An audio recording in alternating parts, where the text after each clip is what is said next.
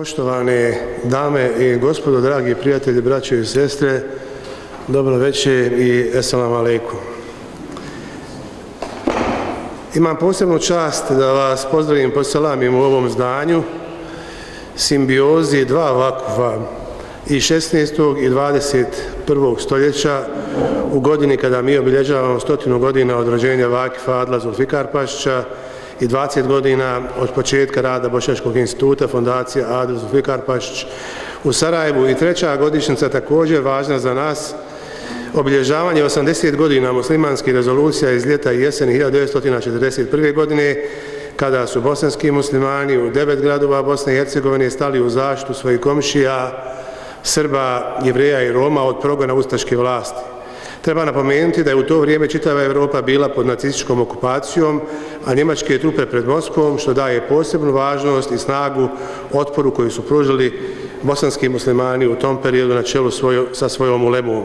Ovom prilikom i salamim našeg e, sarajevskog muftiju, e, doktora Neđavda Grabusa i želimo i naravno svima vama koji učestvujete zajedno sa nama večeras ovdje u uh, ovoj promociji. Večeras smo se ovdje okupili da bi obilježili dijelo ime profesora Ismeta Kasumagića koji je čitav život posvijetio borbi za islam, bosanske muslimane, bošnjake i borbi za Bosnu i Hercegovinu. Ismet Kasumagić je rođen 1928. godine, a preselio je na 22.10.2020. godine u 93. godini svog osebujnog života ispunjenog nizom događaja o koji ćemo večeras govoriti, a ono što se posebno ističe su njegove dvije zatvorske robije. Poznavajući lično porodcu Kasumagić mogu reći da je s Rahmetli izmetom njegov alter ego bila supruga Rahmetli Azijada iz poznate porodce Serdarević koji su kao i Rahmetli Ismet bili izloženi torturi zbog pripadnosti mladomuslimanskom pokrijetu. Azijadin, brat Asaf, je ubijen na samom kraju rata i postao šehid i njegov život je obrađen u knjizi 13 mladomuslimanskih šehida koji je objavio Rahmetli Ismet Kasumagić, a drugi brat Azijadin Ismet je imao osuđene 20 godina zatvora Azijada i treći brat Izo na DKR, odnosno društveno korisni rad. Rahmetli Ismet i Azijada su 63 godine bili u braku. Ova ponosna bošnjačka obitelj sa tri kćerke, e, Amrom, Azrom i Amilom, ima 13 unučadi i 20 pravnučadi i svi oni koji su prispjeli svojim godinama su visoko obrazovani. Ono što ja mogu reći privatno vezano za obitelj Kazumakić je koliko znam za sebe, znam iz Rahmetli Ismeta i Azijadu i njihove kćeri, jer smo se družili od ranije mladosti, iako smo bili u dva grada, Zenici i Sarajevu. Tra, druženja su bila najmanje dva ili tri puta godišnje, po nekoliko dana. Posebno su bila interesantna druženja za prvomajske praznike e, koje smo imali kod porodice Arapčić, Rahmetli Mehmeda i njegove Rahmetli Hanume Eštefe, gdje smo sa njihovim sinovima Teufikom i Tarikom drugovali u selu Bokavići kod Lukavca u periodu dužem od jedne decenije sve do hapšenja 1983. godine. Ono čemu su rahmetli ismeti i moj rahmetli otac Munir insistirali je bilo maksimalno posvećenje edukaciji učenju, tako da smo nas šestoro, Amra, Azra, Mila, Ismet, Fatima i ja u stvari spartanski odgajani da budemo posvećeni trajnom učenju, jer je kroz e, njihovo životno iskustvo pokazano da u stvari jedino znanje je ono što vam ne mogu oduzeti. Profesor dr. Nusret Isanović, je od ranih mladalačkih dana zajedno sa mnom bio i družio se sa porodcom Rahmetli Ismeta Jazijade i zamolit ću ga da iznese svoja viđenja vezano za naučni i stručni rad profesora Ismeta Kasumagića. Profesor, izvoli. Ciljena porodice e, Kasumagić i svi oni koji joj e, pripadaju u užem i širem smislu, e, dragi prijatelji, Zadovoljstvo mi je i to osjećam naravno i kao neku vrstu svoju, svoje obaveze i kao a, duga prema a, tom jednom plemenitom čovjeku kojeg se vrlo rado često sjećam kako u a, svojoj osami, tako i u razgovoru sa svojim najmilijim, sa svojim najdražim. A, dakle, čast mi je da večeras evo, a, učestvujem a, ovom našem druženju povodom obilježavanja lika i dijela Rahmetli Ismeta Kasumagića. Budući da govorim, ili moja je tema bar tako definirana o nečemu što sadrži stanoviti izazov da se uđe u neku vrstu interpretacijskog puritanizma, dozvolite E, jednu prvu kontekstualizaciju, mislim da će biti korisna. E, e, rahmetli profesor Kasumagić, on pripada, a to već izvjesno vrijeme promišljam, pripada krugu mladomuslimanskih intelektualaca, a kada govorimo dakle o toj intelektualnoj pojavi e, mladomuslimanskoj ili mogli smo da kažemo, ako bismo govorili striktnije jezikom filozofije, e, fenomenologiji mladomuslimanskog uma, e, onda bismo mogli da govorimo i o nekoj vrsti intelektualne paradigme koju, nažalost, naš um, današnji um zanemaruje. Mi se bavimo uglavnom relativno lahkim temama, ponekad možda i nebitnim temama, međutim temama, a toliko su nam potrebne, koje uspravljaju naš duh, koje, koje uspravljaju naš um, a to je prije svega tema evo uma koji je svjedočio dakle izuzetne vrijednosti određeni e, značajan određeni e, značajan broj godina. To su teme evo obrazovanja a mladi muslimani pa pored ostaloga i rahmetli ismet su upravo ostvarivali to na najbolji mogući način i dozvolite dakle prije nego što nekoliko možda a, suhi faktografija iznesem ovdje da nešto kažem o tome. Ja sam imao priliku da se družim e, vrlo prisno, vrlo drago, dakle tako milo mome biću, nekada do egzaltacije, sa nekim od e, tih naših velikih ljudi, dakle prije svega velikih ljudi, a evo potom možemo da kažemo i naši veliki duhova i naši značajnih umova. E, jedan od tih ljudi je svakako Ismet Kasumagić, ali evo dozvolite da spomenem meni posebno dragog čovjeka, možda duhovno najbližeg, pored Mohameda Geserdarevića, a to je e, Rahmetli Munir Gavran Kapitanović, od koje sam jako mnogo učio. Prije svega učio sam to kako biti čovjek, kako biti posvećen poslu i od svih njih se zapravo to moglo učiti i naravno jedno vrijeme sa Rahmetli Alijom Izetbegovićem od 1978. godine. Šta se moglo od tih ljudi naučiti? Dakle, moglo se prije svega naučiti, e, naučiti ili učiti kultura življenja. Kultura jednog moralnog, duhom prožetog i intelektualno relevantnog e, življenja. A, ono što nedostaje nama muslimanima, to su zapravo ovi ljudi imali. A to je jedna odgovornost, jedna disciplina, jedna posvećenost, jedna ustrajnost, posvećenost upravo ovim najvišim vrijednostima koje zapravo i čine osnovu e, za naše bivanje čovjeka. Obrazovanje je gotovo kod njih bilo kult.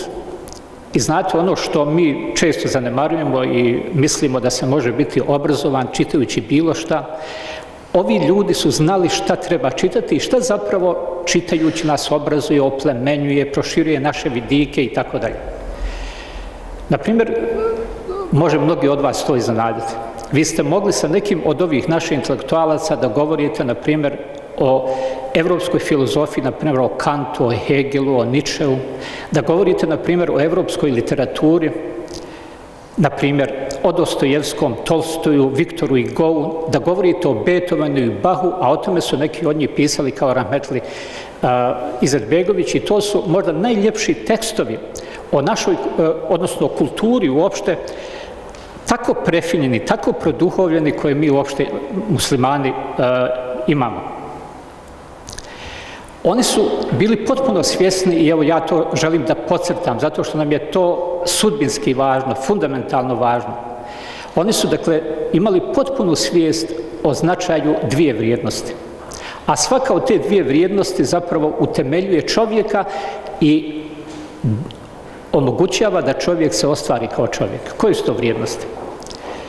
pored vjere koje su oni bili izuzetno predani, dakle ne slijepo predani, nego oni su bili predani vjeri otvorenog srca i otvorenog uma i bili su joj beskrajno odani.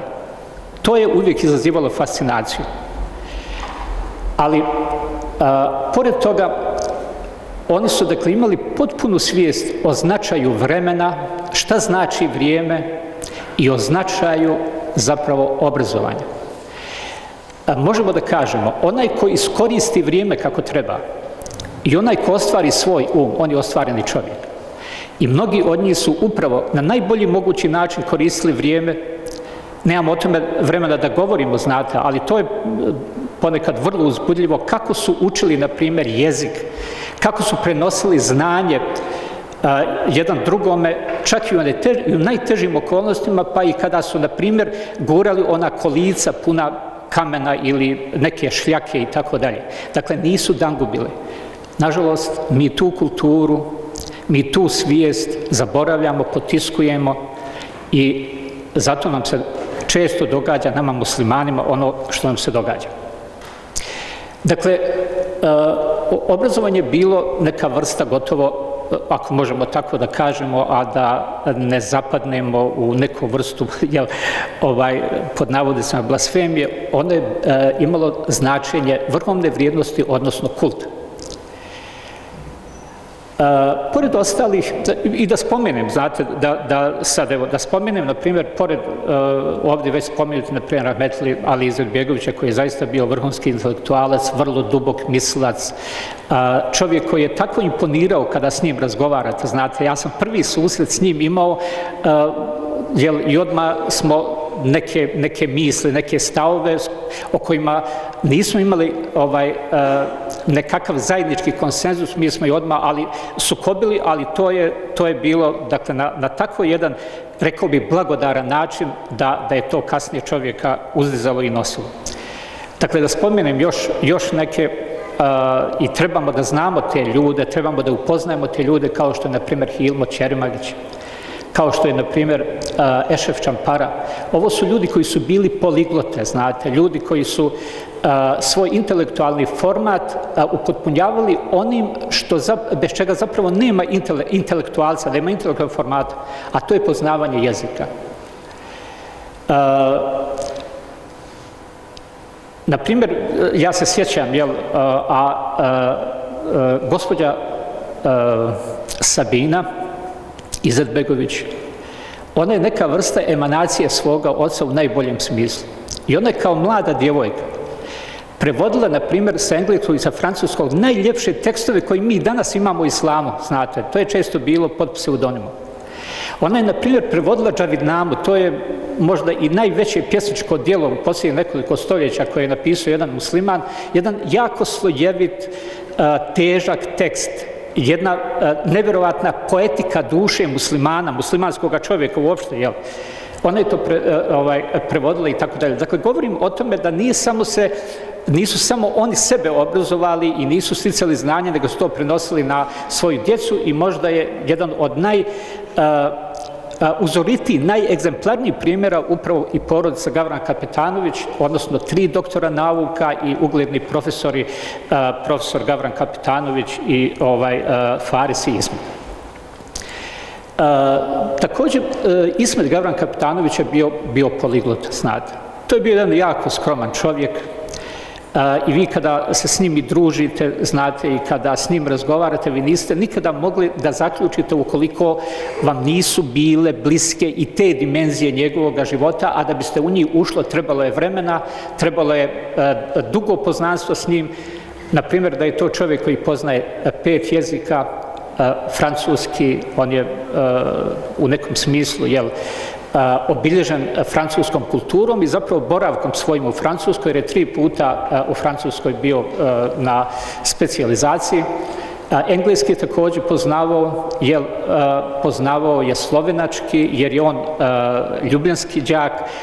Tada tih godina biti u Ljubljani, studirati u Ljubljani, to je bila doslovno jedna velika privilegija, znate. I on je bio, bio vrlo uspješan eh, student u Ljubljani, naravno poznavao je ruski i poznavao je njemački, do duše nešto slabije, ali možemo da kažemo da je pasivno eh, poznavao, dakle dovoljno da se može kretati eh, u području istraživanja, što je kondicije sine qua non, jel, poznavanje jezika za tako što. I on je bio, dakle, već po poradku iz Ljubljane prihvaćen jer tada je također postala jedna intelektualna znatiželja, potreba, potreba za obrazovanjem. Znate, mi e, znamo više lica komunizma, mi znamo više lica socijalizma, ali moramo sa ovog vremenskog odmaka da prepoznajemo tu i nešto što se za nas dobro dogodilo. To je Božja mudrost, znate. To tako Allah čini. A to je da su mi tada stekli e, kao nikada do sada veliki broj naših intelektualaca, naših vjerodosnih intelektualaca. Jedan od tih ljudi je bio, bio čovjek koji je izrazivao fascinaciju, na primjer, kod a, Ismeta Kasumagića, ali i kod mnogih drugih ljudi, jedna teško ponovljiva ličnost među bošnjacima, odnosno a, među nama jel, u Bosni i Hercegovini, a to je jedan genijalan čovjek, izuzetan vizionar, posebno kada je u pitanju značaj obrazovanja za Bosnu i Hercegovinu, a to je akademik Eh, Kemal Kapetanović.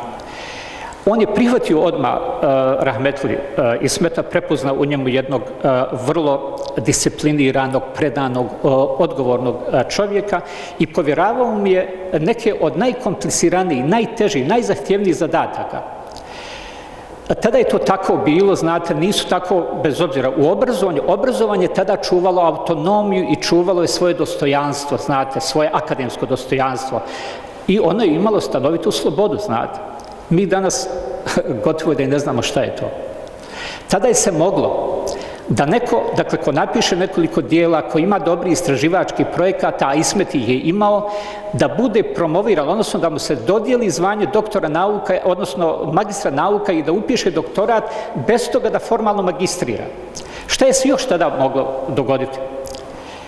A, od čega bi smo trebali nešto da učimo. Moglo se dogoditi da neko ko je napisao neke značajne knjige, da mu se prizna čak doktorat i da bude biran u zvanja, znate, da ne prolazi e, ovaj put e, pomalo, ja bih rekao, ovaj i mukotrpan, a možda donekli besmislen za talentirane ljude, asistent, pa viši asistent, pa docent, pa ne znam, varevni profesor, da ako je neko napisao neko dobro dijelo, imao istraživačke projekte, kao što je bio slučaj sa Rahmetli Ismetom, on je mogao da bude e, biran, na primjer, odmah u zvanje varenog profesora i to se upravo dogodilo sa Rahmetli profesorom, profesorom e, Kasumagićem.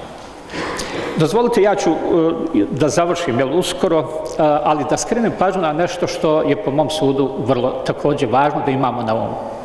Mi imamo danas mnogo intelektualaca. Znate, imamo i možda više. Da li to stvarno jesu intelektualci, kada bi se strogo, do, svi da li su intelektualci, kada bi se strogo govorili, to je jedno drugo pitanje. Ali imamo mnogo, dakle, doktora nauka, profesora, evo sada i akademika, više ne znamo šta ćemo s njima. Međutim, ono što danas nemamo, a ono što smo imali među e, mnogo manjim brojem naših ljudi, znate, što je zapravo upotpunjavalo njihov intelektualni format, a to je e, bio pored ostaloga moralni kvalitet. Ne može se biti intelektualac bez morala. Znate, ljudi koji se bave e, intelektualnim poslovima na ozbiljan način znaju šta to znači nemoralan intelektualac ili neodgojen intelektualac, duhovno neprosvjetljen intelektualac, ako kaže Senaji, jedan naš tremni mudrac, on može samo više nanijeti štete e, zato što e, njegov intelekt koji voli da se buni, koji voli da ide često u zabranjene zone ljudskog djelovanja, može da napravi više štete nego koristi. I to je bitna diferencija specifika između dakle, ovih naših intelektualaca i oni nas obavezuju da im posvetimo u ovoj dimenziji posebnu pažnju da to budu dakle, teme za magistarske i doktorske radove, jer je riječ zapravo o intelektualcima koje je određivala ideja cijeline znanja bez koje nema, nema znanja. Znate, danas je sve postalo fragment. I mi umiremo, naš um umire, naš duh umire po, dita, po diktatu fragmenta. Sve je fragmentirano, naše biće je fragmentirano. Pogledajte nas. Znate, dakle, ideja cijeline, a zapravo osnova ideje cijeline je tevhid. Zahvaljujem se.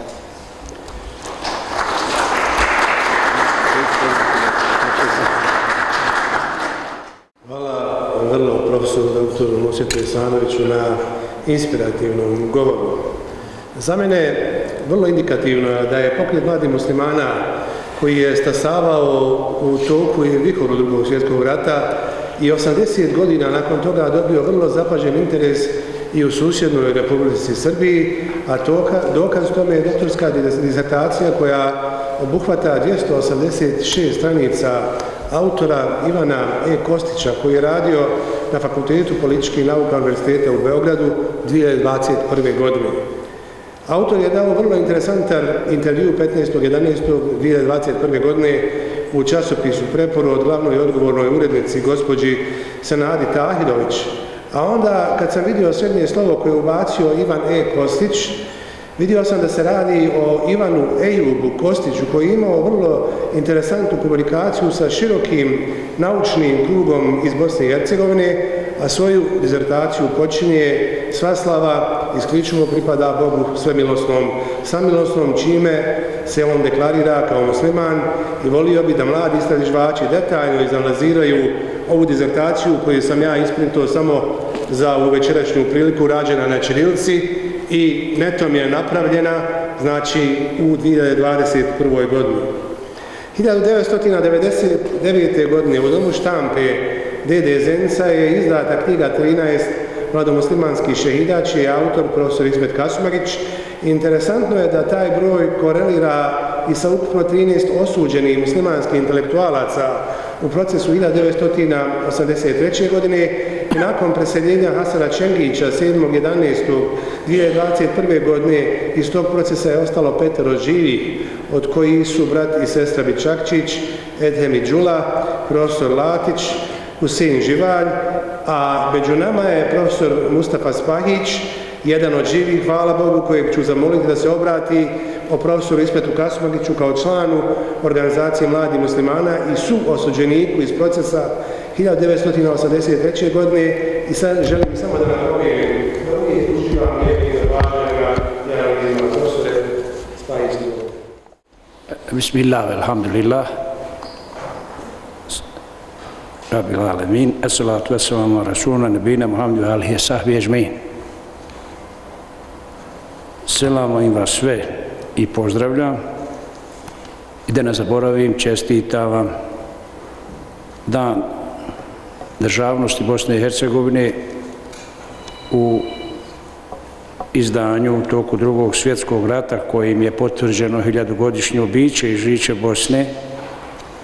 I želim vam da se prijatno i radosno, a ne dosadno osjećate. E, nisam nikad i nisam ni večeras uvjeren da sam dostojan ja ovakav kakav jesam da govorim o mladim muslimanima kad ja evo ni u starosti ne znam kako ću biti musliman. Ali eto, uloga je, treba je ispoštovati. Uloga i značaj mladih, ulogu i značaj mladih muslimana treba razmatrati s više stajališta vjerskog, moralno-etičkog, obraz, odgojno-obrazovnog, vrijednostnog, kulturno-civilizacijskog, antifašističkog, antinacističkog, antikolonialističkog, antiateističkog, antikomunističkog, antičetničkog i antiustaškog. Sve su ovo bili izmi polovinom 20. stoljeća koji su čovečanstvu donijeli 100 miliona žrtava. Od prvih začetaka spontanog, institucionalno neorganizovanog rada, jer im se nije dozvoljavalo registrovati, 1930. godine u pristupu životu kao studentska i srednjoškolska i ulemanska omladina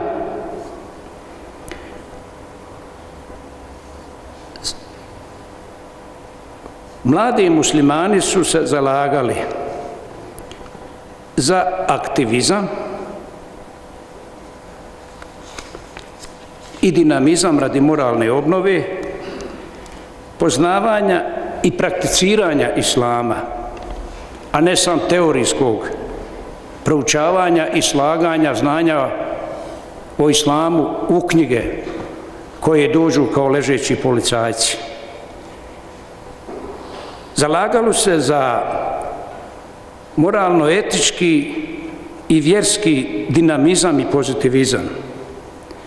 Njihovo je, njihova su načela da i ovom, da i onom svijetu. Da se ne zaboravlja i, ne, i nikada ne prekida veza između Dunjaluka i Ahireta. Između vjere i znanosti, jer je vjera bez same znanosti krhka i ranjiva, odnosno vjernici svačija su mušterija, a znanost sa svojom moćim bez vjere je slijepa i uništavajuća i samo uništavajuća. Zalagali se između dakle vrijednosti dakle i svijeta stvari i koristi, zatim između ibadeta i rada, uzor u praktičnom životu bilo, vam, bilo im je poslanikova kroz sunnet i hadis praksa i poslanikova i ashaba organizacija života, ali naravno organizacija života u onim uvjetima u kojim oni žive, a ne u kojima su živjeli poslanik i ashabi.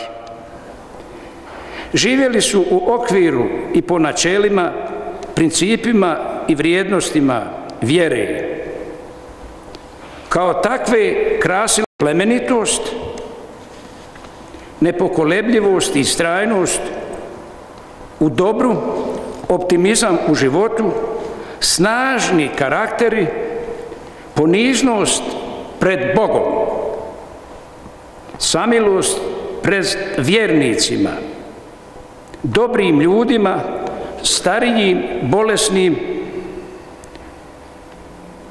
i dakle, bolesnim osobama, zatim milostivost pred djecom i odlučnost u životu. Zalagali su se za slobodu mišljenja i to odgovornostnu slobodu, jer granica slobode je granica odgovornosti.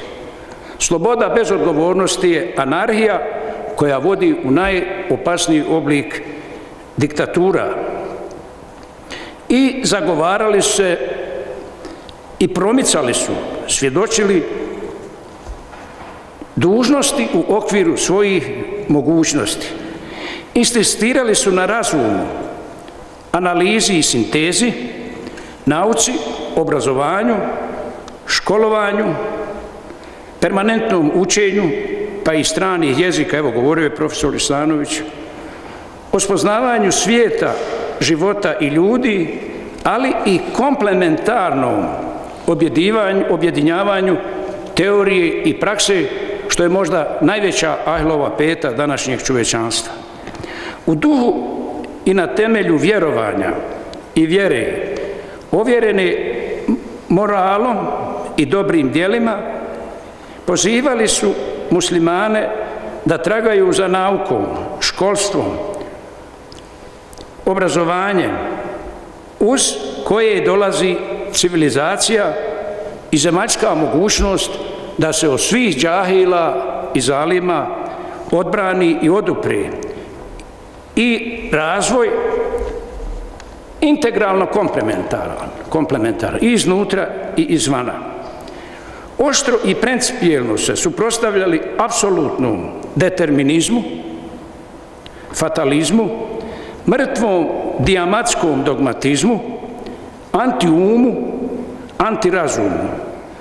Nasuprot toga zalagali su se za afirmaciju uma i razuma, slobode, dinamične vizije života, nauke, civilizacije i univerzalnih moralnih vrijednosti. Od samog početka mladi muslimani su proklamirali stavove na nivou aksioma koje je sav život posle 45. potvrdio kao ispravne. Citiram. Ne fašizmu, ne nacizmu, ne militarizmu, ne materializmu, kao ontologiji, ne ateizmu kao ideologiji komunizma, ne agnosticizmu, ne skepticizmu, ne ide ideološkom sekularizmu, ne nacionalizmu, ne rasizmu, ne šovinizmu, ne apsolutnom egoizmu i individualizmu, ne kolektivizmu kao stado ovaca, ne egalitarizmu, ne netitularnom vlasništvu, ne nasilnoj, pljačkačkoj, nezakonskoj ekspropriaciji i nacionalizaciji dobara i zemljišta, ne, ne komunizmu, jer mu je ideologija ateizam, ne ide ne neograničenoj vlasti, ne neograničenoj vlasti jedne partije kroz monizam, kroz monopol, kroz monolog i kroz monolut. Mladi muslimani su pozitivno doprinijeli vjerskom, moralnom i etičkom identitetu muslimana prostora bivše Jugoslavije. Bez, bez obzira na to koliko su bili na nišanu partije i njenih egzekutora, to su partijske egzekutori, to nije nikakva policija, udbe, nikome, niko im nije mogao priuš, prišiti izdaju i učešće u raznim neprijateljskim formacijama. Njihov doprinos očuvanju kulture i tradicije bošnjaka, prijateljstvu među njima i saradnji sa drugim narodima ima naročito vrijednost i težinu, pogotovo danas. Ti takvi mladi muslimani suočili se sa državom, državnom i političkom ideologijom, čija je ontologija materializam, ponavljam, ideologija ateizam. To je bila totalno totalitarna ideologija koja je imala ambiciju da prožima, da prokriva, da provjerava, da nadziri i kontroliše sve sfere i u svim oblastima javnog, društvenog, grupnog, pa čak i privatnog života. Zato je Alija u sunci rekao kad upalite dnevnik, da gledate, eh, televiziju, da gledate dnevnik, samo prate vremensku prognozu, tu vas neće zakačiti član 133. Ovi 13 šehida, oni su sudbinska posljedica ovakve ideologije i ovakvog pristupa životu. Vaslav Havel, nekad veliki književnik, dramski pisac, kasniji predsjednik Čehoslovačke, je primijetio jednu rečenicu koja potpuno pokrivira stanje i odnose u komunističkom svijetu. U komunističkim zemljama niko nije mogao živjeti na nekomunistički način, uključujući i svećenika. Ja sam bio hođa, jer bile su takve željezne granice da se nije moglo izvan tih okvira. Žilas, koji je bio ideolog komunističke partije Jugoslavije 20 godina sa partijskom knjižicom broj 4, kada je došao u sebi, što mi rekli muslimani to, tobe, napisao je ove rečenice. Ideologija nije kadra ni da potisne, ni da zabrani religiju. Jedino je kadra da za, vrje, za vremena kinji i muči, ja dodajem, i ubija vjernike, kao ovih 13, jeli. Nasilje je strašno i zbog toga ideologija a komunizma je ideologija ateizam, a ontologija osnova, zna to profesor Isanović mnogo bolje od mene, temelj osnova svijeg svijeta i života, materializam, ne može biti zamena za veru i ideju. Jer ideologija je vera nasilja. Ideologija je ideja nasilja. Ideologija je ideja laži. sa ovim mladićima koji su ovakvu sliku svijeta imali, kad se je susrela ta komunistička ideologija, ona je na njih gledala u vrijednostnom smislu kao što gleda onaj valja koji vala asfalt koji ide po glistama. Ali naspram takve ideologije, antički mudrac kaže, što svjedoče životi mladih muslimana, oni to svojim životima svjedoči, možeš da me lišiš života, ali ne možeš da mi promijeniš dušu. Nijednom mladom muslimanu partija i udba nisu promijenili dušu. Meni je to pričao Nenad Vasić koji je sa mnom ležao u zatvoru, on je bio zamljenik Uglješa i Danlovća. Ja sam mislio kada od komunista nema, možete jači ljudi na svijetu i da ih ne može niko slomiti. Ali kad sam vidio u zatvoru Bibera i Kovača i Stupca, kojima dole glavu okrenu, a gore noge vežu, niti im daju jesni pit, mučenje. Oni više ništa ne mogu. Ovaj. Samo, kaže, dignu prst, biva šehadet. Ne mogu oni to izreći. Ja sam, kad je bio svjedok i s dvojicom, trojicom sam mijenjali su čelije, pa sam bio. E onda sam zavezao i rekao, nema od ovih ljudi, jeli čvrsti ljudi. Ibn Hazmi je naš kazao, koji je napisao čuvenu ogrlicu, golubičinu, dijelo moralne naravi, može spaliti papir i knjige, ali ne ideje, ne ideje. Evo ideje od tjelovljene mladi usmana sjede ovdje. Gdje su knjige to ode Kurtovića Edvarda Kardelja? Ovaj? Ovdje u Sarajevu s njima svijet ložio vatru i grio se do 96. jer nimao šta ložiti. I završit ću Augustom Kontevom. Historija misli je istorija istorija misli, ideja, objektivna istorija čovečanstva. Sam dozvolite da kažem koju riječ o profesoru Kasumak Čismetu s kojim sam se poznavao 50 godina. Meni je noćas beskrajno drago da su ovdje objedinjene dvije porodce, dva prijatelja i najbliži su njih dvojca bili među muslimanima i fizički i po mislima i posle 45. rahmetli e, Munir Gavran Kapetanović i rahmetli profesor ovaj, Ismet Kasumagić. Ismet Kasumagić je, da informativno kažem, je rođen u Sagrćijama u centru Sarajeva od majke Đul Hanume i Osman Osmanage, uglednog Sarajevskog, jeli, Sarajlije, stotinama godina.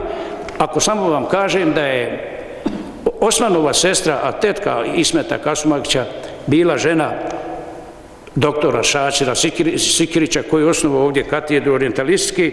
mnogo sam vam rekao, Mektebi, ovo obrazovanje, osnovnu školu četiri razreda šerijatske gimnazije koja je formirana u Sarajevu 1918. sve to u Sarajevu, a onda je od 47. do 48. bio u Jusuf, Alej Selamovoj medresi, odnosno preko Beledije i zatvora, godinu dana, naravno, posle toga je završio Metalurški fakultet u Ljubljani, imao je više specializacija, 3-4 po Francuskoj Velikoj Britaniji i bio je najbliži i naravno najsigurniji ovaj saradnik ovaj akademika Kemala Kapetanovića na Metalurškom institutu. Želim istaći za njega četiri stvari koje na takav način nisam primijetio kod nekih i mnogih drugih ljudi. Pa mislim e, da su Ismet i Rahmetli Munir u tom pogledu bili ono što se kaje baška. E, četiri, četiri e, dakle, fokusa Ismetovog života. Ličnost, karakter, identitet osobe, integritet osobe, brak, brak, porodica, i džemat. Sad kod džemat obuhvatam kompletnu rodbinu i, i, i sav komšiluk. Taj njegov takav odnos, ovaj, on je čitav život nosio Allahom, ja nisam mogao takav biti dva dana u odnosu na, na ženu, na djecu, na porodicu, na komšiluk. Jedan dan sam čitav e, sa njim hodao, a Mila se sjeća i Azra, I one su bile u autu, novi je bio Peugeot. Mi smo po ovim bosanskim handuračama skupa, skupljali maturska svjedočanstva svršenika Gazine medrese. Ovaj. Gazine medrese, da ih šaljemo studirati u Libiju, u ovaj muslimanski svijet. Pa ste, on je tek Pežova kupio. Tim cestama, nekim od tih cesta, cesta, hodali su samo traktori i džipovi. I on je mogao, ovaj, taj dan je mogao, kad smo išli gore prema Fojnici, mogao je, on nije o tome nikad, nikad progovorio šta će biti s autom, nego samo hoćemo izvršiti taj posao i te diplome ovaj sabrati. A mene je pokupio sa Derne kanala stavići ja morao s curom maškovat, toliko mi je bilo krivo, ali sam više njega volio nego što mi je bilo krivo. Ovaj. Možda kažem koliko je to čovjek bio angažiran. Ovo, može vam se istorija, evo profesor Isanović je govorio, ali Zenici kao Zenici, Željezare kao Željezare, Metaloškog instituta, Metaloškog fakulteta, Mašinskog fakulteta u Zenici, nema bez tog kolektivnog srca iz Sarajeva koje je došlo u Zenicu. Ismet Kasumagić, akademik Kemal Kapetanović, Muzafer Spužić, zatim Škaljić Besim, sin Abdullaha Škaljića koji je pisao onaj turski riječnik, oni su bili mozak i instituta, i željezare, i tih fakulteta i profesori ovaj. Drugo, oni su pisali, naravno, Ismet je bio zamjenik Kemalu. Kemal je bio spiritus movens, Ismet je bio agens praks. Jer je ove Kemalove velike vizije i, i, i ideje, uglavnom, one su išle i realizirane preko Ismeta. Toliko su oni radili, oni elaborata, stručni, po čitavom svijetu, pa vi sad se čudite, otkud takva željezara, ne znam, u Turskoj, ovo ono, uglavnom, to su njihovi veliki radovi i njihovi plodovi.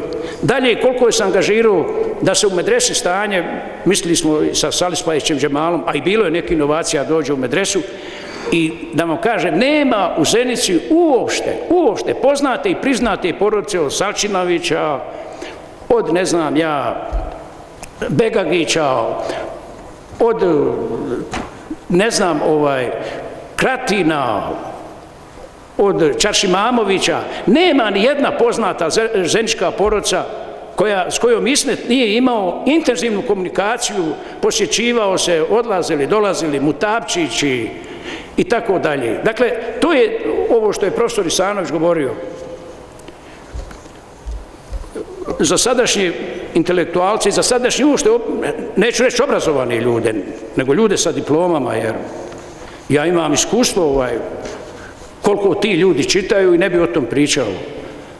Ali u Alije Rahmetli Izetbegovića je Nene za jedno od svojih unučadi, svi ga falili, sve mu pece u školi. I svi ono je, ono je, ono je, ono je, ona je drekla i presipa. Nije dobar, to je da, to je idiot, on uči samo za sebe. Ovaj. Samo za sebe. Ovaj. Ko je intelektualac? To je advokat istine. To je zastupnik opšteg univerzalnog dobra. Ko će biti kopula i konekcija između naroda i ideja? I... Ono što intelektualci predaju po školnom fakultetima u Bosni to sve može u dva voza stati. Kamo konekcija? Kamo zemlja? Kamo država? Šta je zemlja? Zemlja je narod na teritoriju. Šta je narod gusaka koji nije, nije o čemu osviješten? Šta on zna o tome? E, Kasumagić Ismet ovi ljudi Oni su bili intelektualci. I još jedno i završavam s Ismetom. Ismet je možda sto puta dolazio u moje selo. Ja sam sin moje materije. Nikad sa njom nisam znao razgovarati na njegov način. Odnosi se na njegov način, sa mojim ocem, samiđom ulom, samiđom menizom, sa svim svijetom. Drugo, Ismet Kasmanić, bez obzira na da zatvora, bio je za našu pamet neobičajeno hrabar čovjek. On je prvi pristupnice SDA donio u Zenicu. On je prvi pristupnice donio u Zenicu. SDA.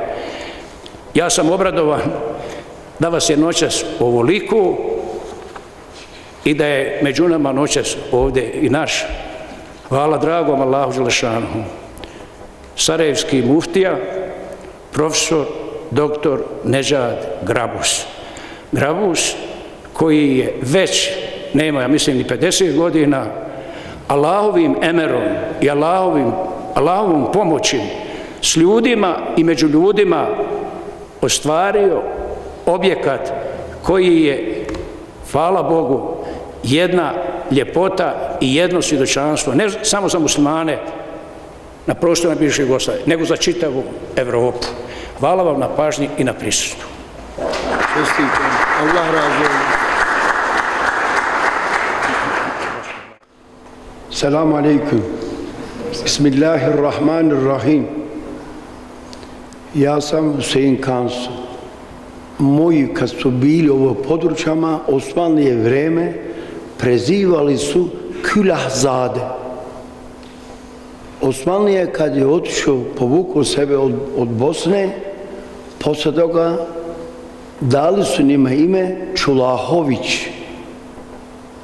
Moj jedan Amižić bio je profesor doktor Besim Čulahović.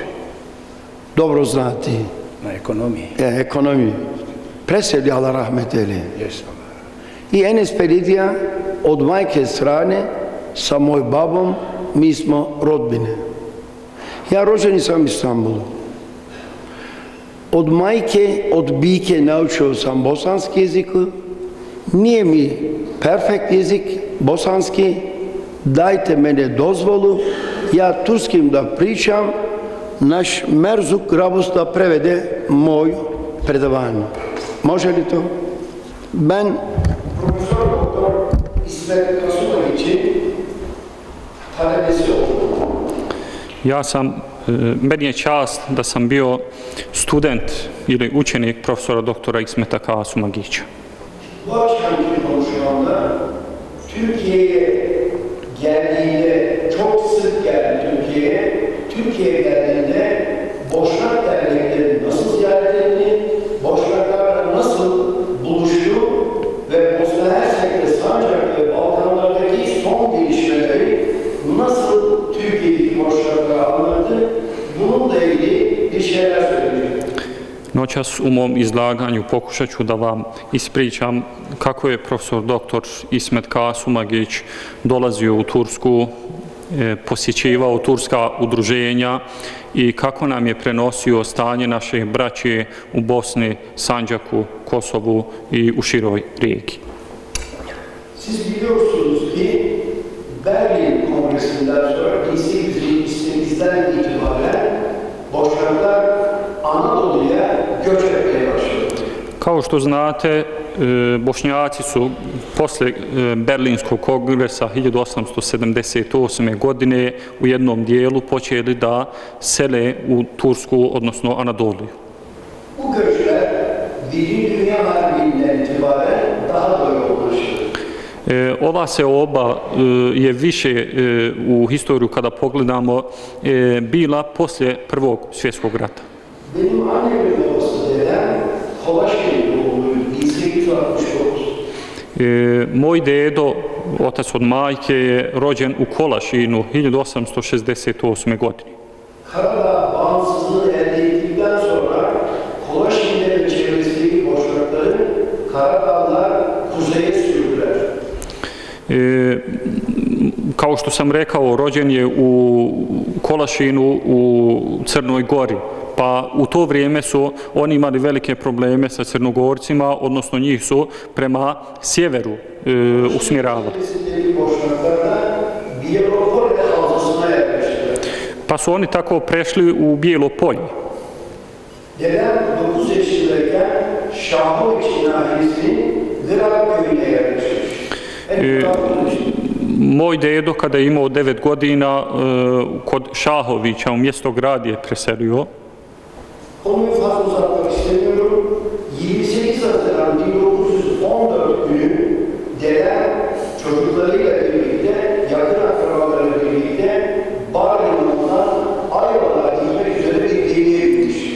Neću više da e, dužim sa svojom poricom, historijatom svoje porucije, samo hoću ovo da kažem da je moj dedo e, 1914. godine preselio u Tursku sa svojom poricom. Gemiyle gelen boşnaklar Beşik'ten ta 90-95 yaşına kadar boşnaklar Ayvalık'a gelmişler.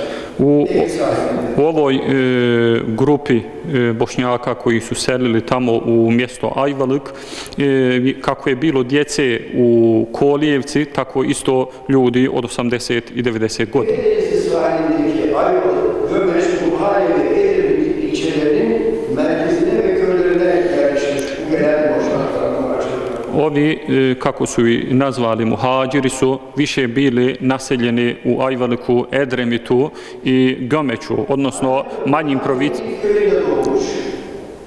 Majka je moja rođena u jednom selu od e, mjesta Burhanije. Daha sonra İstanbul'da babamla evlenmişler. Poslije e, u Istanbulu udala se za mog oca. Benim hem annem babam. Tako da hoću da kažem da e, sam ja i sa strane oca i majke Bošnjak. Ancak ben hayatımın hiçbir evresinde boşnak nasyonalisti olmadım. E, ali i ovo hoću da kažem da nikad nisam bio nacionalista. Bütün dünyadaki Müslümanların dertlerini kendine dert edindim. E, problemi cijeli muslimana u svijetu su bili moji problemi. Tabii ki öncelikle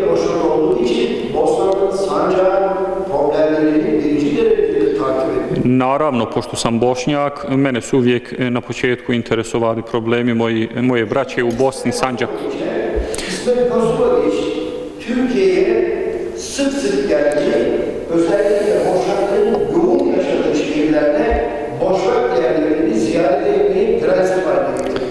Hoću da kažem da je profesor dr. Ismet Kasumagić od 1969. godine dolazio u Tursku i pogotovo posjećivao mjesta gdje žive naši bošnjaci. I pretežno sam ja bio uz njega u tim njegovim posjetama. 55. U Turskoj u 55 kantona žive bošnjaci. Bunlardan en E, najveći dio živi u Istanbulu, Manisa, e, İzmir, Konya, Kayseri, Sivas. Istanbulu, Kocaeli'yu, e, Sakarya'yı, Balıkesir'u, Konyi i tako dalje. Bu boşlukların yaşadığı şehirlere gittik. Onunla birlikte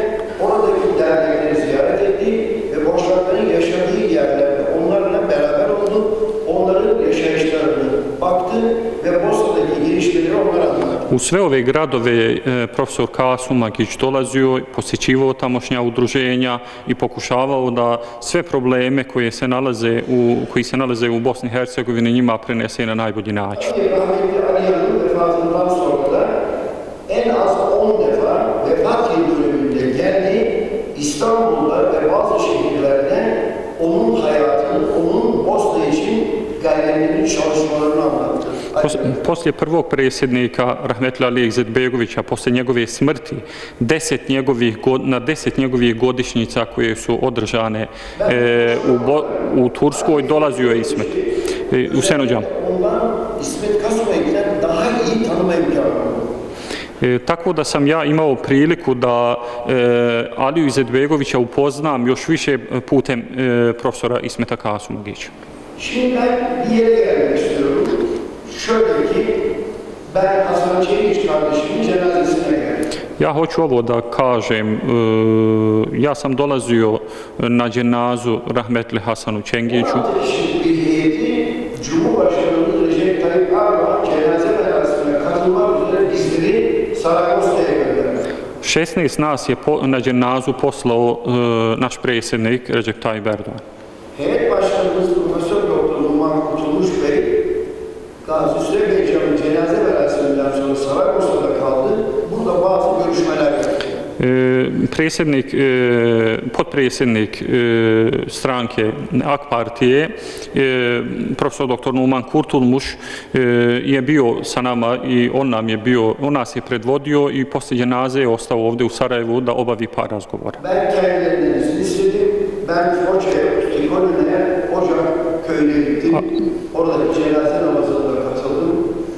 Ja sam tražio od njega izun, dozvolu da odem u Ustikolinu u Foću i da tamo isto obavim dženazu našem bratu.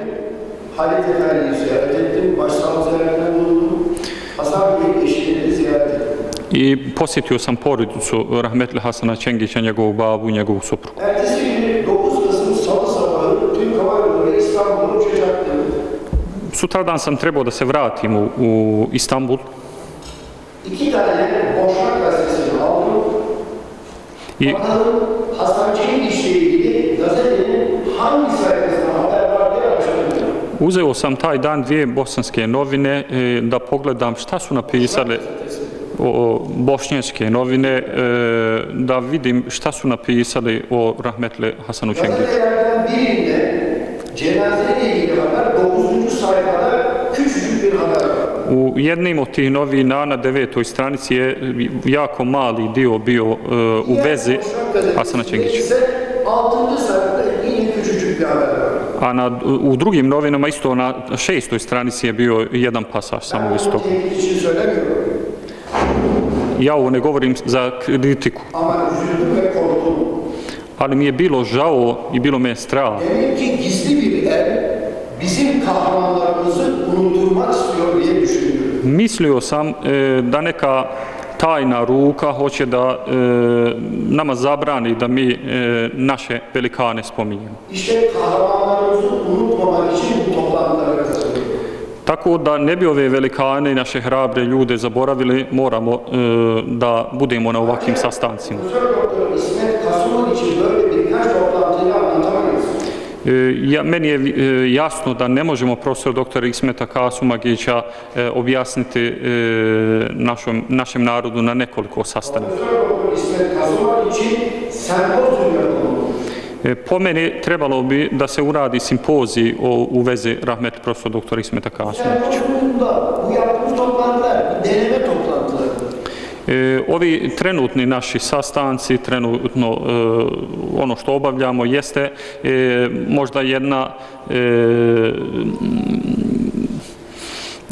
prije, e, prije prigoda e, za e, ili početak za, za simpoziju koji bi se trebao održati. Bu? Ko bi trebao da bude i da učestvuje u ovom e, simpoziju? Mladi muslimani organizacija, Prva, naravno, e, organizacija Mlada muslimana, Univerzitet u Bihaću, rektör, zato što je on bio tamo rektor. Isto tako i Zenice i njegovi poznanici gdje je radio iz e, Instituta za metalurgiju. Isto tako Preporod, Yunus Emre, Yunus Emre. hep beraber büyük bir sempozyum hazırlamalılar.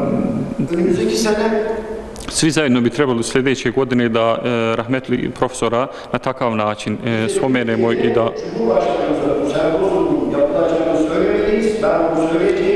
ja ću pre, nije to e, našem predsjedniku Ređevu Tayyip Bu Erdoğan. yoksa itimat Cumhurbaşkanı bu açış.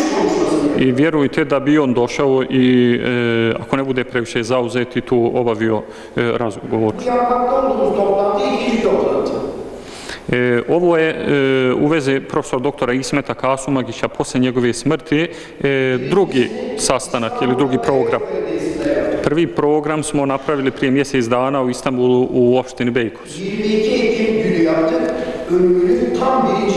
22 22.10. tačno na godišnjicu njegove smrti.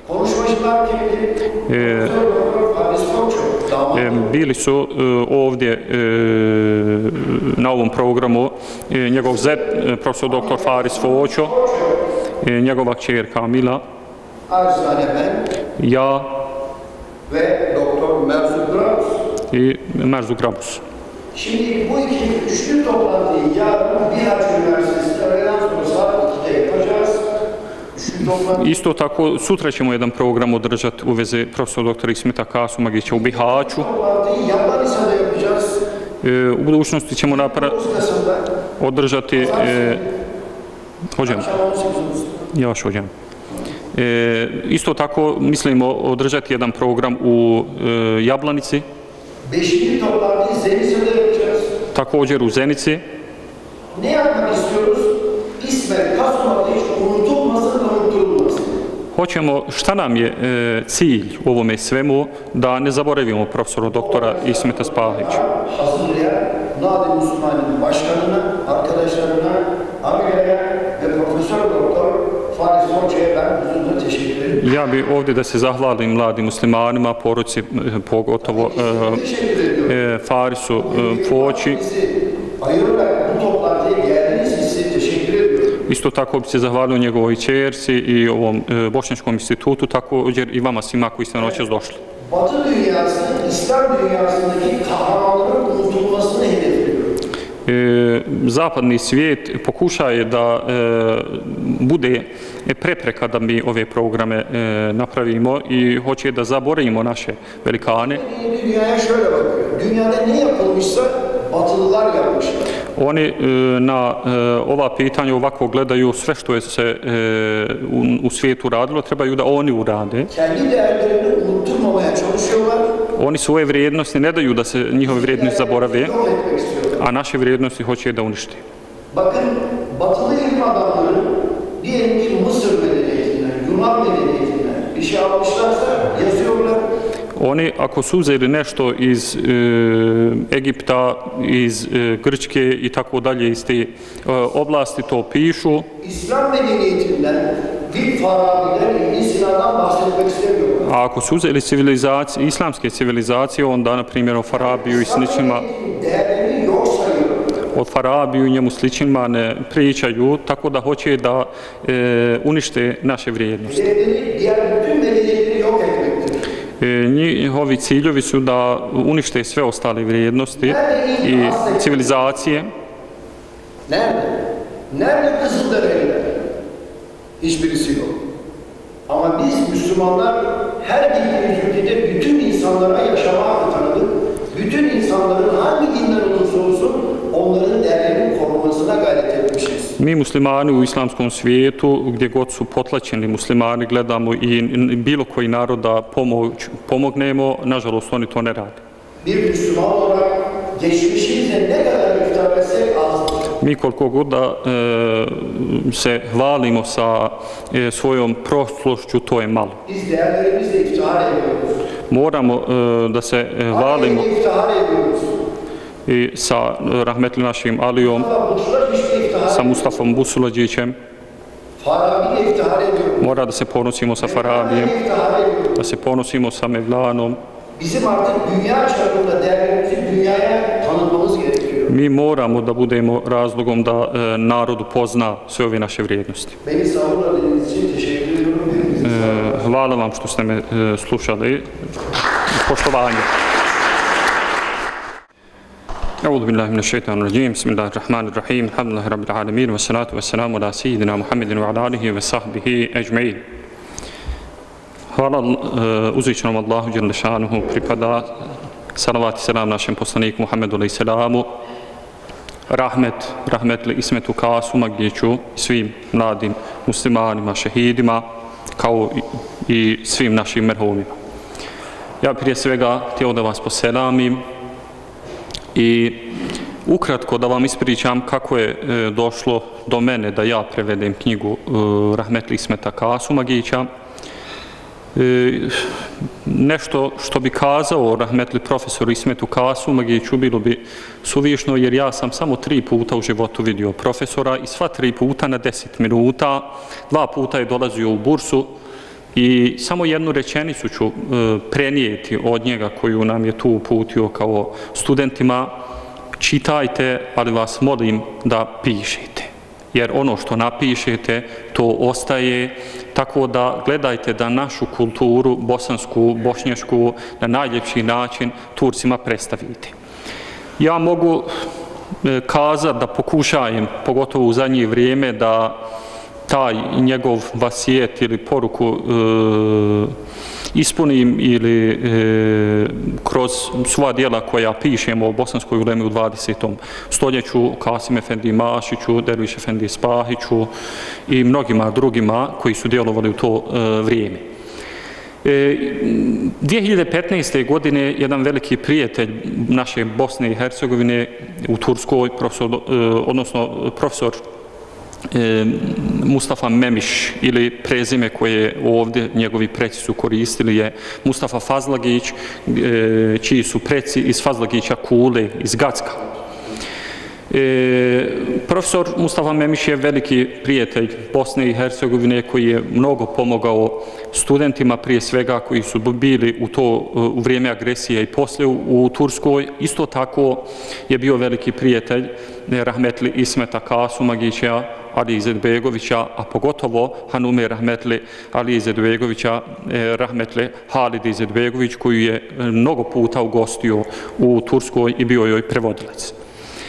On vam je, e, moja je dužnost, emanet, da prenesem njegove selame noće s vama, nije mogao noćas da bude među nama, ali e, zamolio me samo da pročitam e, 2015. kada je dolazio kod Ismeta, eh, rahmetli profesora Ismeta, a njegov je bio običaj kada dođe u Bosnu da najprije, najprije posjeti mezar našeg prvog predsjednika, a na drugom mjestu je bio e, rahmetli Ismet Kasumagić da se vidi sa njim, sa njegovom rahmetli Hanumom Zijadu. 2015. kada je se vidio sa njim i kada mu je obećao da će ova knjiga biti prevedena, e, ovu knjigu mu je eh, rahmetli e, profesor Ismet e, e, poklonio i ovo napisao. Mome dragom i nezaboravnom prijatelju Mustafi Memišu, koji obeća prevesti na turski ovu knjižicu uz korekcije Nusreta, profesora doktora Nusreta Isanovića, te na turskom i bosanskom jeziku oštampati u srdačni sedam autor knjige Ismet Kasumagić. E, profesor E, Mustafa Memiš dobro poznaje bosanski jezik, ali e, volio je da e, to mi uradimo. Ja nisam mogao na početku odmah da to primim, jer e, tada sam bio već na doktoratu, imao sam dosta obaveza, e, ali e, na kraju odlučio sam da to uradim.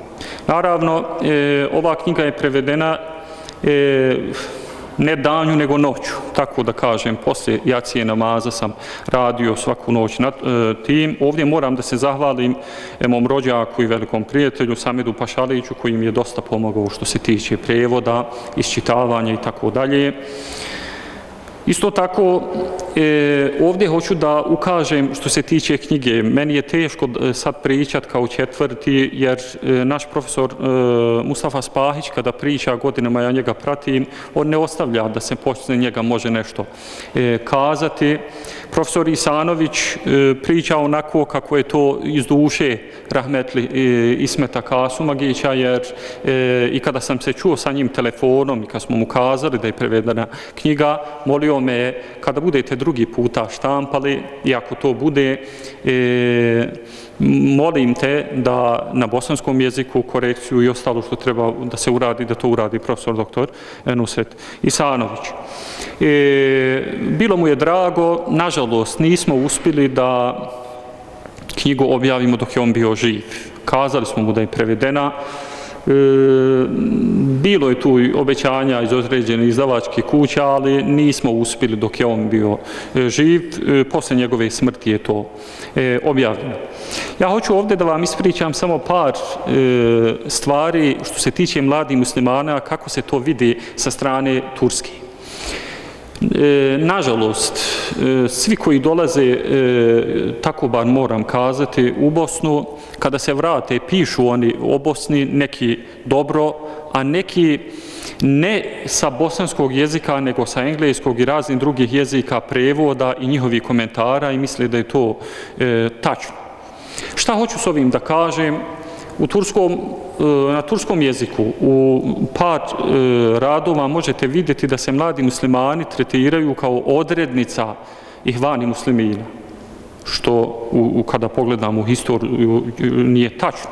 Znači, ima e, možda u imenu, u njihovom e, odredku mladi muslimana, u ihvanim musliminima, e, sličnosti, ali da je njihova odrednica, nije tačno. Nažalost, Rahmetli Ali Izetbegovića knjige sve su bile prevedene do prošle godine sa engleskog jezika. Šta hoću ovdje da kažem? Bilo bi jako dobro, ja to tamo zagovaram i e, gledam da pokušam da objasnim da kako god mi učimo turski, arapski, perzijski, da oni ljudi koji e, bi radili o Bosni i historiji Bosne, mladim muslimanima, eventualno i drugim temama, da e, pokušaju da nauče naš jezik i bilo bi, bio bi ishod e, drugačiji, ja vjerujem, da, dođe, da će doći do toga i da bi jako bilo bolji. E, Daću još jedan primjer. U mnogo radova možete vidjeti da je Rahmetli Ali Izetbegović bio prvi e, predsjednik mladih muslimana, što nije tačno. E, znači, e, ako uzmemo Esada Karođozovića i e, Mustafa Busulađića, Edhema i tako dalje, znači, Alija je Rahmetli je bio 25. godište i njegovo e, 1938. kao dječak nije moguće ni e, s te strane da bude. E, tako da, e, isto hoću da pohvalim našu braću Turke u drugom smislu, da stvarno ova knjiga je na, e, popunila jednu e, praznoću Šta hoću da kažem s otim?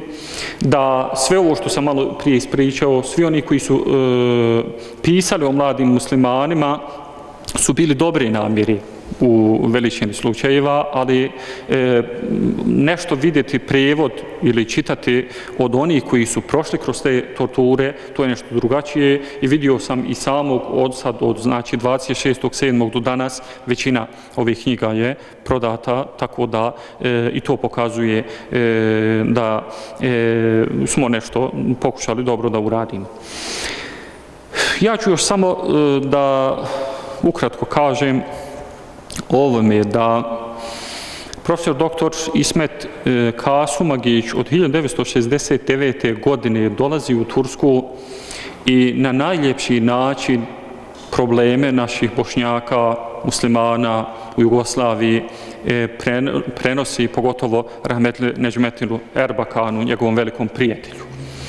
E, Ismet Kasumagić je održavao govore E, i programe na dosta mjesta. I dosta bošnjaka u Turskoj su e, bili povod da glasaju za Erbakana, odnosno kasnije za Erdoana njegovim putem ili njegovim radom i njegove rahmetle Hanume Azijadi. E, hoću ovu e, anegdotu da ispričam u Bursi kad su bili e, rahmetle Ismet i rahmetle Azijada. Uvijek na tim programima sam vidio da e, je više pričala Rahmetli Azijada od Rahmetli Ismeta. Pa kada bi se završi program, onda mu kaže e, Ismete, ti si nešto šutio, trebao si ti da više pričaš, a on kaže, pa nisam imao priliku od tebe, ti si stalno pričala, pa tako da nisam imao e, prilike da ja dođem do izražaja. E, Rahmetli Ismet, oni koji su e, ga e, više poznavali, naravno, vidjeli su da je bio ti e, smiren, imao je veliki sabur, e, i pripadao, pripadao je plejadi naših e, a, kako ću ja kazat, alima ili učenika od alima e, osmanski, tako da e, u svakom pogledu bio je primjer. Kada sam prevodio ovu knjigu, u isto vrijeme sam radio jedan seminar o prvim muslimanima, odnosno ashabima Božeg poslanika u vrijeme Mekke. Kada čitate ovu knjigu, vidite torture kroz koje su prolazili e, mladi muslimani, ali kada pogledate isto tako, bar sam ja imao tada priliku isto vrijeme da e, čitam o Džafer bin Abi Talibu koji je 13 godina proveo u Abesini, a nije mogao da bude e, u Mekke ni na dženazi svoje majke, svog oca, e, da bude kada mu je se brat Alija ženio na njegovoj svadbi, da bude kada je se, e, kad su se rodili njegovi bratići Hazreti Hasan i Hazreti Husein i koji je na najljepši način predvodio muslimane u Abesini.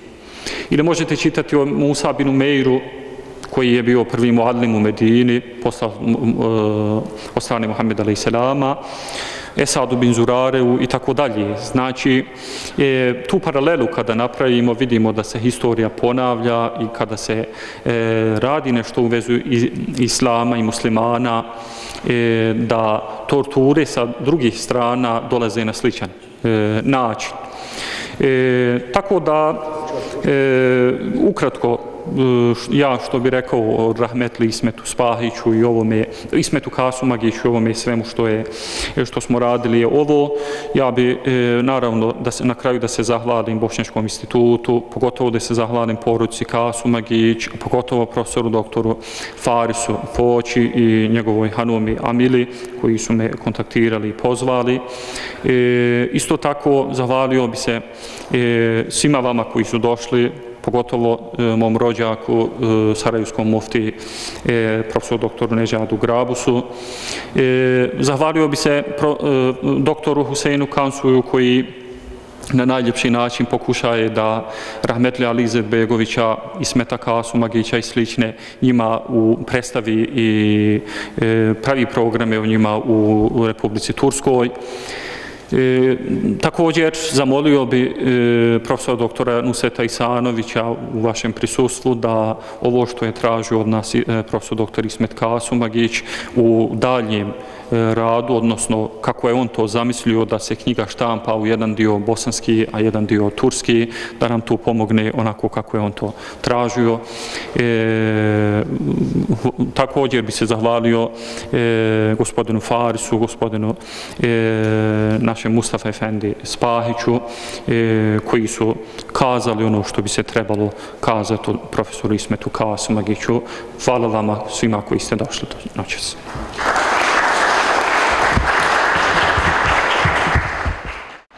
Hvala doktoru Merzuku Grabu, su prevodiocu knjige e, profesora Ismeta Kasmagića 13 mladomuslimanskih šehida na turski jezik. Za sami kraj, u kontekstu situacije u kojima se nalaze bošnjaci, bosanski muslimani, danas ja sam pripremio dvije pouke ili poruke koje su za mene vrlo interesantne, možda da ostanu kao vinjete ovog našeg večerašnjeg susjeta, a u sjećanju i na sjećanje profesora Kasmovića. Naime, srednjovekovni gradovi koji su bili vrlo blizu Turskog carstva, a i oni koji su bili daleko, uvijek su imali poneku izluku koja je davala poseban karakter tom gradu. Naravno, neću nabrajati ove druge koji se bojali Turaka, ali ću spomenuti jedan grad koji nije bio vezan, niti imao straha od Osmanlija, niti Arapa, ali je imao strah od međukršćanskog sukoba, to je grad Libek koji se nalazi 65 km sjeverno od Hamburga i najveća je luka na Baltičkom moru, centar pokrajine Schleswig-Holstein. Na ulazu u stari grad Libek stoji parola Concordia domi foris pax, što znači ako vlada sloga unutra, nema straha od rata, ako je sloga unutra, mir je vani. Ako prenesemo da smo mi bošnjaci složni, nema nikakvog straha od rasta zbog našeg jedinstva koje predstavlja snažnu branu odbrane naše egzistencije i identiteta. Moramo na tome raditi i nećemo imati, da kažem, nikakav strah prema onim koji nam, evo ovdje u Bosni, i danas prijeti. Ejub Ensarija, radi Allahu Anhu, je bio bajraktar stjegonoša Božijeg poslanika Muhameda alaihi selam, i učestvovao je u deset bitaka. Borio se na Bedru, na Uhudu, na Hendeku, na Hajberu, učestvovao u osvojenju Mekije i Tajfa, a po preseljenju Božijeg poslanika na bolji svijet borio se u Misiru, Palestini, Siriji, Kipru i 669. godine pao kao mučenik.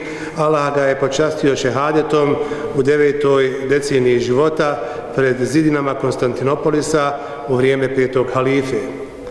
Razlog njegove borbe i odlaska u borbu za Konstantinopolis bio je u hadisu vjerovjesnika Muhammeda a.s. La tuftehan el Konstantinijetu, fele nimel emiru emiruha, vene nimel džešu zalike džeš, sadaka Rasulullahi fima kal.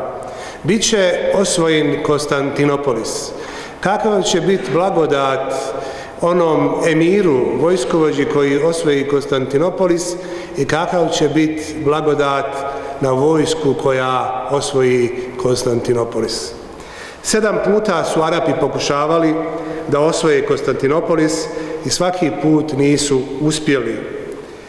Kako se je čekalo 820 godina da se ispuni hadis vjerovjesnika Islama Muhameda a.s.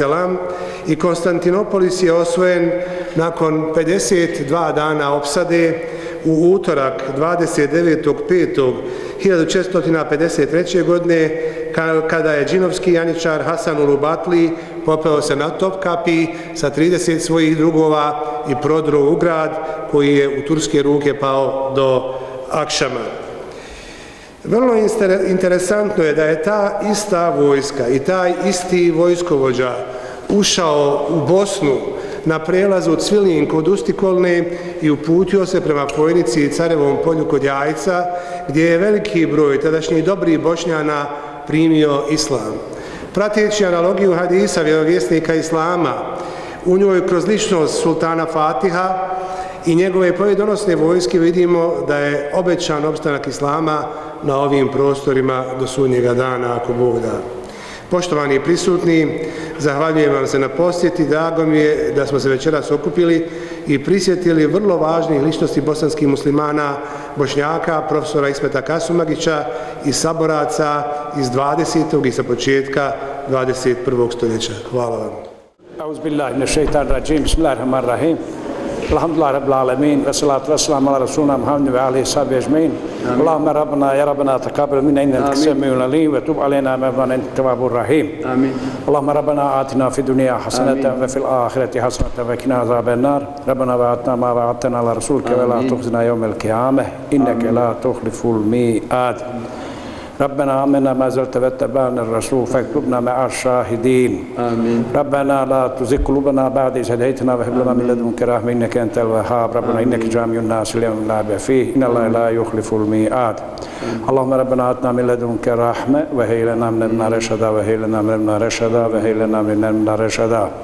اللهم اجعلنا من التوابين واجعلنا من التطهرين واجعلنا من بعدك الصالحين واجعلنا من الذين لا خوف عليهم ولا هم يحزنون. برحمتك يا أرحم الراحمين.